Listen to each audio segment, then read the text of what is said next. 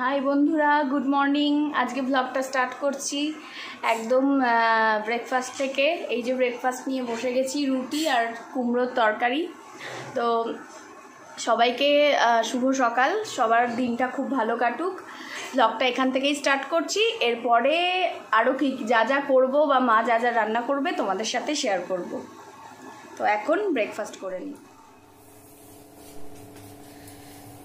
Breakfast আমার complete হয়ে গেছে। এদিকে মা করছে আম দিয়ে টক ডাল, আর প্রেশার কুকারে বোন একটা কিছু বানাচ্ছে, ওই বিস্কুটের কেক আর এদিকে রয়েছে দুপুরের জন্য ভেন্ডি ভাজা, আর আম কাটা রয়েছে, আমের চাটনি হবে। আর কড়াই তো টক ডাল হচ্ছে, আম দিয়ে মুসুর ডাল। আর হবে এখানে পেঁয়াজ আর কুমড়ো কেটে রেখেছে, ছোট চিংড়ি মাছ দিয়ে ওটার তরকারি। আর এখানে রয়েছে চার রকমের সবজি, এটা ভাতে দিয়ে আর কি সেদ্ধ মাখা হবে, আর আলু ভাজা। আর খাবার সময় কাতলা মাছের পেটি আমরা সবাই ভেজে খেয়ে নেব। আর ঝোল খেতে ইচ্ছে করছে না, কারণ চিংড়ি মাছের তরকারিটা রয়েছে। এই যে মা ওই চিংড়ি মাছটা ফ্রিজে ছিল, বার করছে। তো সকালে ব্রেকফাস্টের পর দেখালাম যে মা কি কি রান্না করছে, কি করে রান্না করছে, কি করছে, আর দেখালাম না। ভালোও লাগছে না। কীরকম যেন এই বন্দি দশাটাকে কবে যে আমরা সবাই মিলে কাটিয়ে উঠতে পারব। আর জানি না, ভগবানের কাছে তো প্রার্থনা করেই যাচ্ছি। এখন কি মনে হচ্ছে জানো তো? মনে হচ্ছে আমরা যে পশু পাখিগুলোকে বাড়িতে পুষে ওদের যতটা কষ্ট দিই, আমরা এখন ঠিক সেই কষ্টগুলোই পাচ্ছি। আমার মনে হচ্ছে মানে ওরা খাঁচায় যতটা কষ্টে থাকে, আমরাও ঠিক সেরকমই কষ্ট পাচ্ছি। তো হয়তো ওভারকাম করব আমরা সময়টাকে খুব তাড়াতাড়ি। ভালো লাগছে না। তো যাই হোক লাঞ্চ করার পর একটু রেস্ট নিলাম, দিয়ে তারপরে ছাদে চলে এসেছি।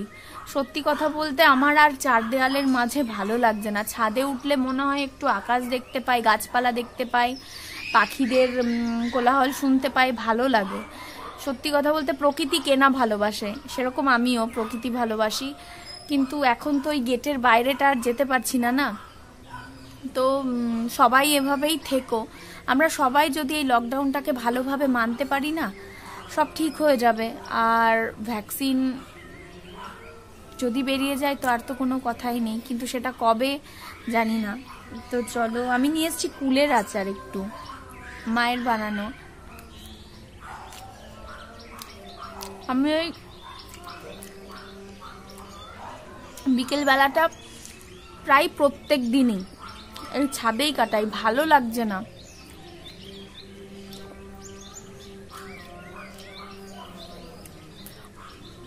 তো তোমাদেরও সবারই একই পরিস্থিতি, কিন্তু এর মধ্যেও চেষ্টা করো নিজে যেটা করে হ্যাপি থাকবে। কেউ ভালো ভালো রান্না করে মানে মনটাকে খুশি রাখছো। কেউ আবার এটাকে নিয়েই আবার অনেকে হোয়াটসঅ্যাপে স্ট্যাটাস স্ট্যাটাস দিচ্ছে যে অনেকে তো আমরা নতুন নতুন কিছু না কিছু বানিয়ে স্ট্যাটাসে দিচ্ছে, এ ও বা আমরাও দিচ্ছি, এরকম। অনেকে আবার স্ট্যাটাসে এটাও পোস্ট করছে যে ভালো ভালো খাবার খেয়ে লোককে দেখাচ্ছ, কেউ খাবার পাচ্ছে না। কিন্তু এটা নয়। কে যে যেভাবে পারছে তার টাইমটাকে স্পেন্ড করার চেষ্টা করছে। হতে হোক না, সে নতুন খাবার বানানো শিখুক না, কি ক্ষতি আছে? আর কারোর পার্সোনাল ব্যাপারে এইভাবে না কথা বলাই আমার মনে হয় ভালো। তো যাকগে সেসব আলাদা ব্যাপার, ওগুলো নিয়ে কোনো দ্বিমতে যাচ্ছি না। তো যার যেভাবে মনে হবে যে ভালো থাকবে, সেইভাবে সময়টা কাটাও। কেননা, এই সময় মনের দিক থেকে যদি আমরা ভেঙে পড়ি না, তো আমরা মানে সেটাকে কাটিয়ে উঠতে আরও বেশি সময় লাগবে। এমনিতে তো হাত পা সব বাধা আমাদের, বেরোতে পারছি না। সেখানে তো একটু বাধা চলেই এসছে, কিন্তু মনটাকে বাদলে চলবে না। তাই যার যেটা ভালো লাগছে করো। রান্না করতে ইচ্ছে করলে রান্না করো। সাজগোজ করতে ইচ্ছে করলে বাড়িতে বসেই কোথাও তো বেরোতে পারছ না। সাজগোজ করো স্কিন কেয়ার করো, যারা ভালোবাসো স্কিন কেয়ার করো।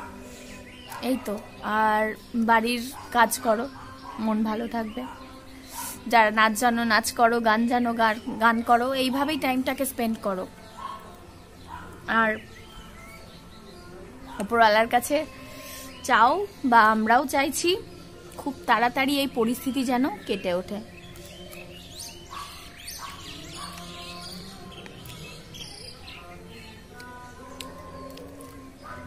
চলো, আমি আচারটা খেয়ে নিই, তারপর তোমাদের সাথে কথা বলছি আবার। কিছুদিন আগে তোমাদের যে আম গাছটাই মুকুল দেখিয়েছিলাম, দেখো সেই আম গাছটাই কত বড় বড় আম হয়ে গেছে। সবকিছু ঠিকঠাকই আছে শুধু আমরাই বন্দি রয়েছি।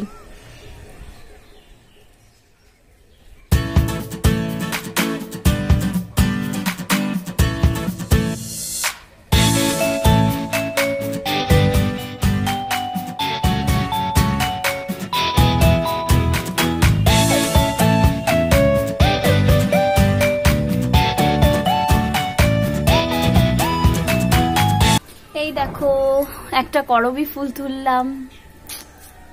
এই এখানে আছে করবি গাছ।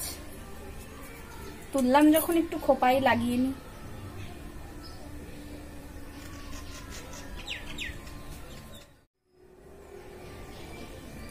কেমন লাগছে বলো? আমার খুব ভালো লাগে ফুল দিতে খোপায়। আমার কাছে একদিন দেখাবো মানে বিভিন্ন কালারের গোলাপ আছে। প্লাস্টিক নয়, কাপড় নয় ভেলভেট টাইপের দেখাবো একদিন। পিঙ্ক রেড ইয়েলো তারপর আর একটা কি? মানে চার পাঁচটা কালারের আমার গোলাপ আছে। আমি মাঝে মাঝে মাথায় দিই। মানে সেরকম কোনো অনুষ্ঠান হলে আমার খুব ফুল ভালো লাগে। এই যে করবি ফুল দিয়েছি। একটা জিনিস হয়েছে এই লকডাউনে পলিউশনটা অনেকটা কমে গেছে। মানে এতদিন তো আমাদের অক্সিজেনের ক্রাইসিস ছিল। সেটা এখন অনেকটা মনে হয় মিটতে চলেছে, আমার মনে হচ্ছে। কেননা কি বলব, গাড়ির যে ধোয়া, ওটাতেই তো মনে হয় যেন সব মানে সব কিছু টেনে নিয়ে আসে। তো ওটা নেই পলিউশন ওটা থেকে মুক্তি। অফিস বন্ধ, সেখানে এসি বন্ধ তারপরে আমরাও এখন বাড়িতে এসি চালাচ্ছি, খুব বুঝে সুঝে, কেননা ঠান্ডা লেগে গেলেই। এখন ঠান্ডা ট্রিটমেন্ট করার আগে আগে করোনা পজিটিভ না নেগেটিভ সেই টেস্ট করাবে। তো সেই ভয়টাও কাজ করছে। তো যাই হোক, একটা জিনিস ভালো হয়েছে যে পলিউশনটা অনেকটা কমে গেছে। তো ছাদে ঘোরাঘুরি করতে করতে না হঠাৎই ঝড় উঠে গেল। খুব ভালো লাগছে। তো ওইটুকু একটু ক্লিপ করে তারপর নিচে চলে গেছিলাম। খানিকক্ষণ বাদে ঝড় থেমেও গেছিল। তো এই ঝড় ওঠার, থেমে যাওয়ার ব্যাপার নিয়ে নচিকেতার ওই গানটার সাথে এখন পৃথিবীর সাথে মেলালে বলতে ইচ্ছে করে, একদিন ঝড় থেমে যাবে, পৃথিবী আবার শান্ত হবে। হ্যাঁ আমাদের এই করোনার ঝড় থেমে যাবে। গোটা বিশ্ব একদিন শান্ত হবে এই করোনার ঝড় থেকে। তো সন্ধেতে আজকে মনে হলো একটু চানাচুর মাখা খাই। তো মা শশা লঙ্কা এসব কুচিয়ে দিচ্ছে, তো আমি চানাচুর নিয়ে একটু মানে মশলা টশলা দিয়ে মশলা বলতে একটু চাট মশলা, সর্ষের তেল এসব দিলাম। পেঁয়াজ দিইনি, কেননা পেঁয়াজ খেলে আমার খুব অ্যাসিডিটি হয়, ওই জন্য পেঁয়াজটা দিইনি। তো এইসব দিয়েই মেখে চানাচুর মাখা খাওয়া হবে সন্ধেবেলায়।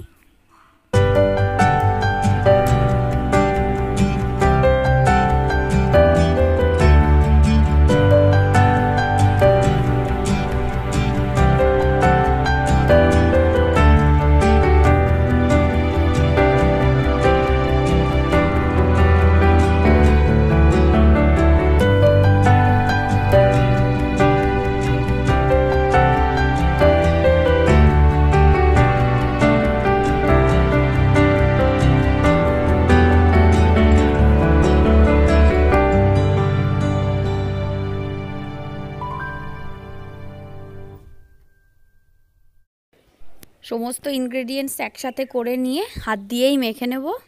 দিয়ে তারপরে সবাই খেয়ে নেব। এই ঘরোয়া চানাচুর মাখা আর কি। এতে একটু টমেটো কুচিও দিয়েছি। প্রথমে বলতে মনে ছিল না। আদা দেবো ভাবলাম, তো যে ঝুড়িটা সামনে পেলাম আদার দেখলাম সব আদাগুলো শুকিয়ে গেছে। আর আদা দিলাম না। ও উঠে আবার ফ্রিজ থেকে বার করো। কুড়ে মি আর কি।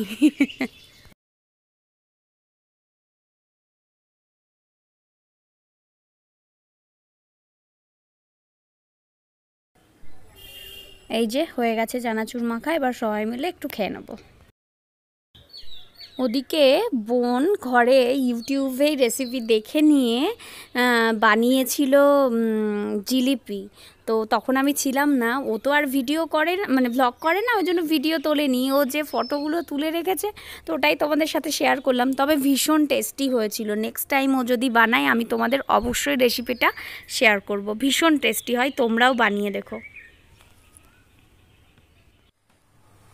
তো আমার এই ছোট্ট ভিডিওটা যদি তোমাদের ভালো লাগে, তো অবশ্যই একটা লাইক করো কমেন্টে জানিও কেমন লাগল, আর প্রচুর প্রচুর শেয়ার করো।